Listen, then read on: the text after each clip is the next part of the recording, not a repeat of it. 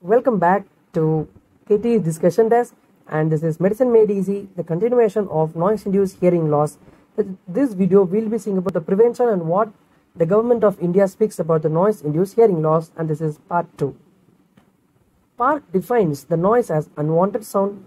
The better way that Park again defines is the wrong sound in wrong place at the wrong time. That is, the human ears respond to the noise as only perceived intensities. That means uh, it responds in a non uniform way. Thereby, this becomes a subjective effect to a human being.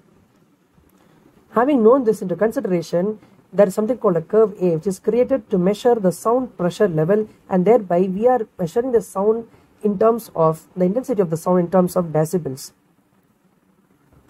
One thing to note here is there's something called speech intelligent intelligibility. Whenever a speech intelligibility is good, that means you are hearing me well. Amidst some background noise, it means my speech intelligibility is good. It means what?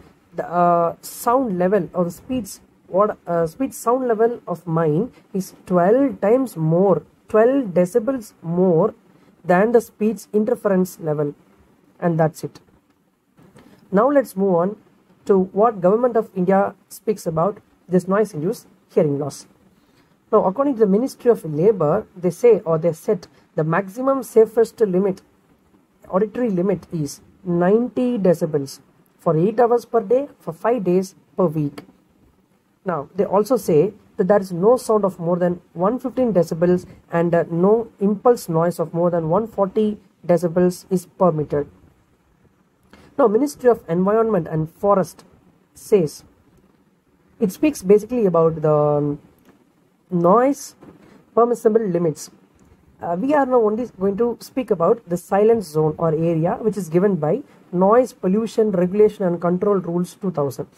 Basically, it says a silent zone or area is where an 100 meters area in and around the educational institute, hospital, nursing home, or court so in this area, 50 decibel sound in the daytime and 40 decibel sound in the night time is said to be or the criteria that satisfies a silence zone or a silence area.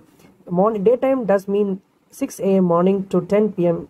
night and 40 decibel night says 10 p.m. the night to 6 a.m. in the morning.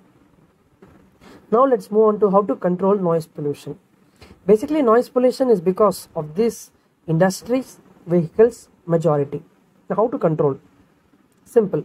Majority of industries are in cities.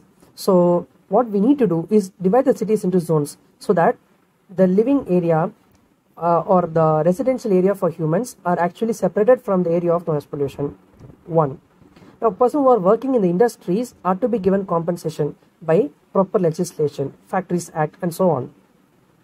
Next, these industries are the one this is going to produce sound. So what we need to do is we can do acoustic insulation of these buildings and actually we can improve the soundproofing of these buildings to reduce the noise pollution. Now as far vehicles are concerned, uh, we actually it is indiscriminate blowing a horn uh, in the road is actually prohibited. So we can control the noise pollution by this way. And apart from this, person who is living in a home should be at least 15 meters away from the roads. This is one thing. And uh, as a residential area should be separated from the noise producing area by a green belt. At the most what is important is health education to the people about this. So without the cooperation of the general public it is not possible to control any disease in the community.